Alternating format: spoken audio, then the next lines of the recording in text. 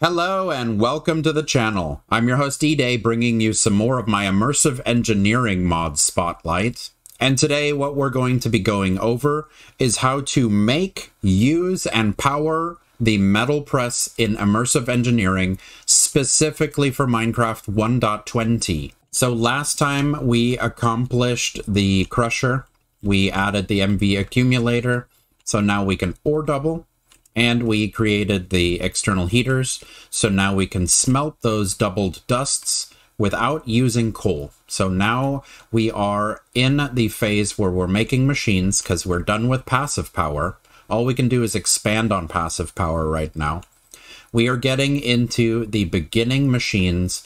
The first one I like is Crusher, of course, so we can double. The next one I like is going to be the metal press. And here's a little teaser for the rest of the episode.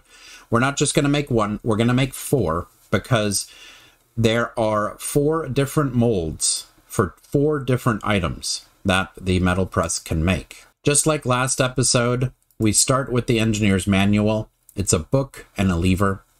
And inside the book, if we go to heavy machinery, the very first option is going to be the metal press. This one's really cool. If you hit play, it'll show you how to put it together. If you hit pause, you can push the up and down arrows to see how many levels there are. This one, based off of the book, it is a 3 by 1 by 3. So 3 long, 1 wide, 3 tall. The way I like to use my metal press, I like to extend it by 1 on each side. So the question mark shows how much we need for one of these metal presses. One redstone engineering block, one piston, one heavy engineering block, two steel scaffolding, and two conveyor belt.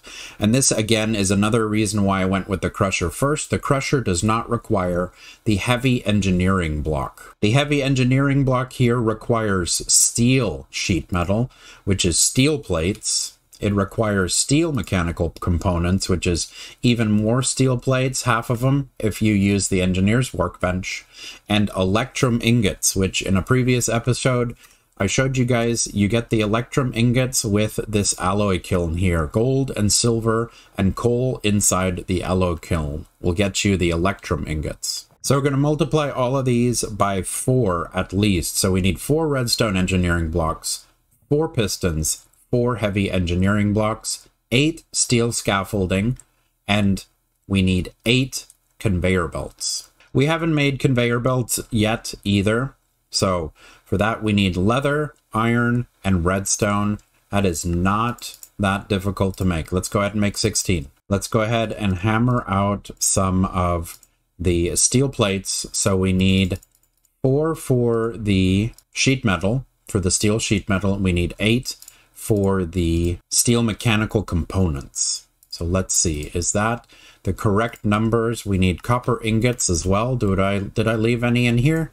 I did not. So let's go inside the engineer's workbench. Four and eight will make us four steel mechanical components. Four of these guys will make us four steel sheet metal.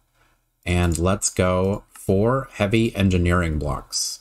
So these are going to be rather simple. We're going to go like this.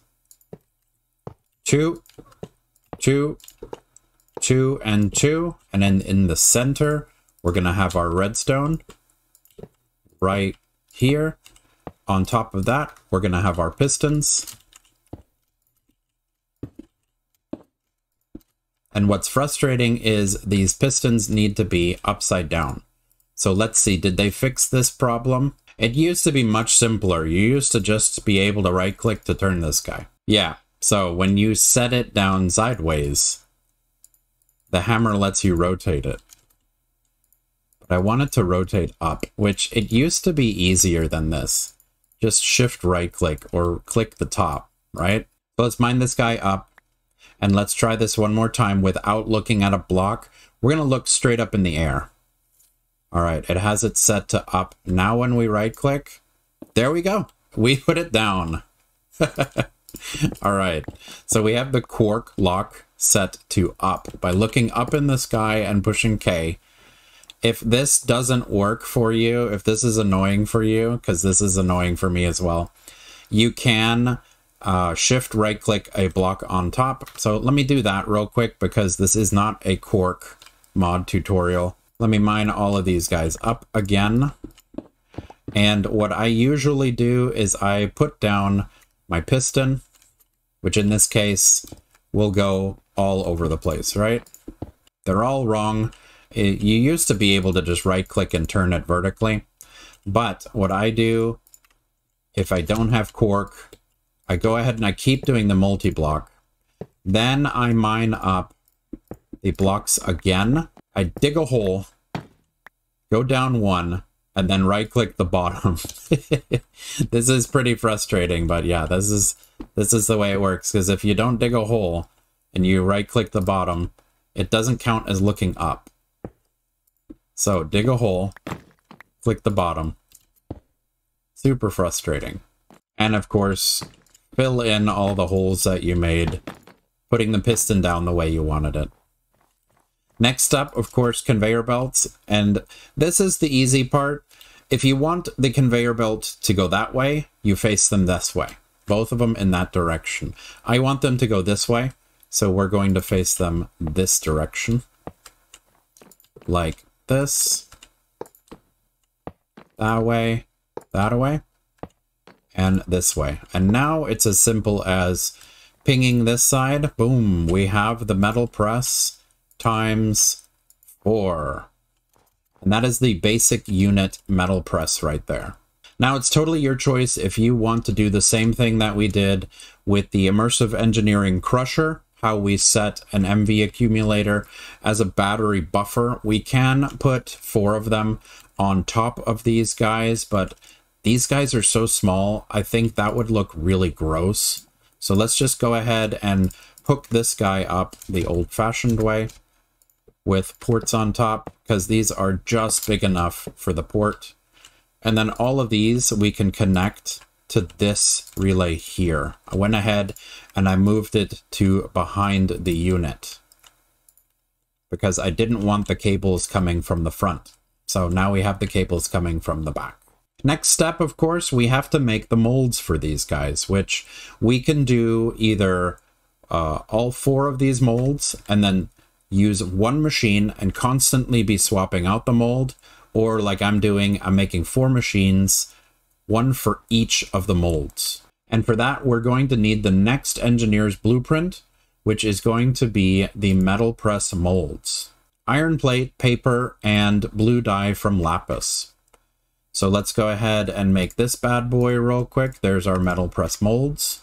And we can switch this paper out. And here are all of our molds. And as you can see, the rod is three steel plates, engineer's wire cutters, three steel plates, engineer's wire cutters. Okay, so we'll go ahead and put the engineer's wire cutters inside there real quick and make the plates that we need.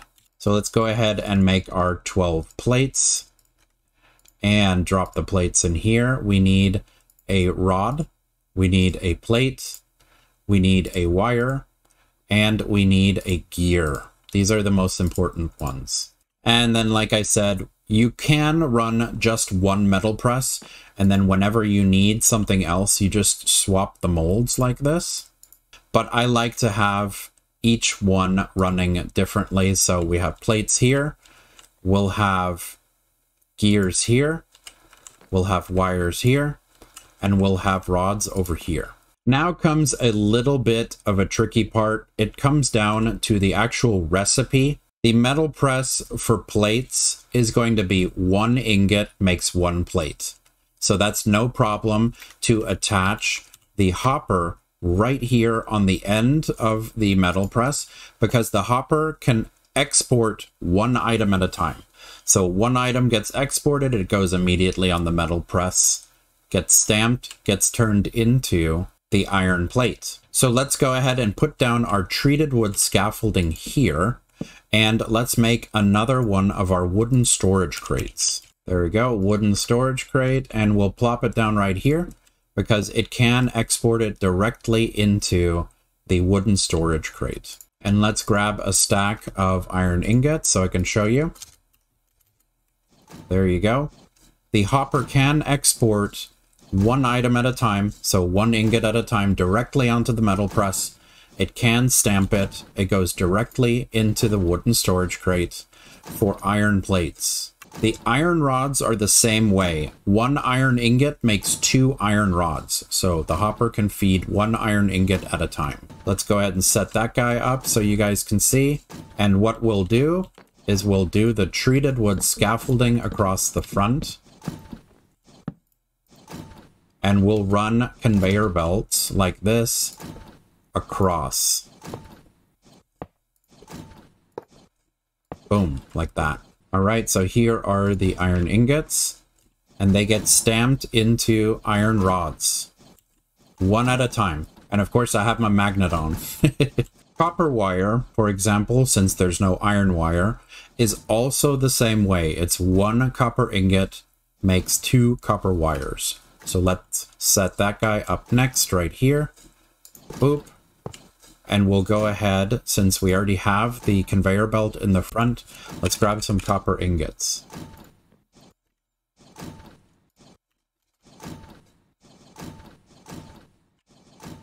And there you go. It's stamping one at a time to make the copper wire now for us. Where we run into a problem is, of course, with the gears. Gears require four iron ingots to make one gear.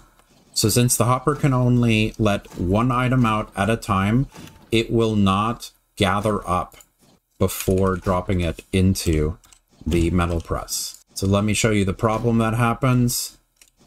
We right click here. We put in our stack of iron ingots.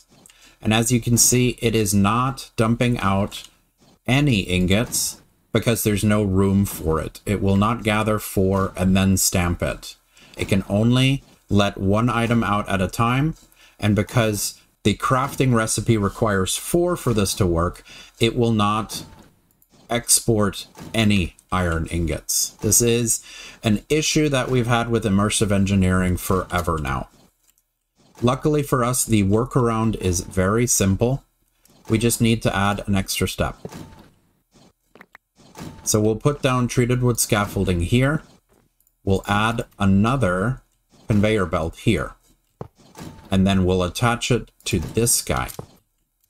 And now when we put in our stack, it will just drop all of them onto the first one. And then since it gathers up more than four on the next one, it starts stamping them down. The only real problem with this is that it does dump all of them down so if you have this set to an export where it exports everything, it will drop them all down as entities in your world, which will cause lag. And if the metal press is not fast enough, items can start despawning off of the conveyor belt itself. And of course, you know, you guys know me, symmetry bothers me a lot. So even though the other three work, I still have to make them all the same length. boop, boop, boop. Conveyor belt, conveyor belt, and conveyor belt. Hopper, hopper, hopper. There we go. Now they're all the same length. And let's make this look good with clinker bricks. And we can extend the slag bricks out one more. There we go. Now we have this cool looking aesthetic of the clinker bricks showing from underneath the treated wood scaffolding and everything is outlined in the slag bricks the way I like it. Yep, that looks nice. Nice and clean. So now, of course, what we can do is we can set this guy uh, to start stamping our steel plates, which this is the one we're going to need the most of. We can also set it to stamp out even more of our copper wires, since we use that as well, and have them all gather inside of the wooden storage crate here for us for later. And let's check on our MV accumulators. These guys are full, which is really awesome because we are not using that much RF because the only machines that are running right now, the crusher is off. We're running two of the metal presses at the same time. And what's great is the metal press, these guys, they only run at 20 RF a tick. So these guys could be running nonstop and it will not affect our power since we're running over 600 RF a tick right now with passive power. Thank you so much for joining me today. Smash like to show your appreciation and consider leaving a boom in the comment section below. Also, click on my dude here to subscribe for more Let's Plays.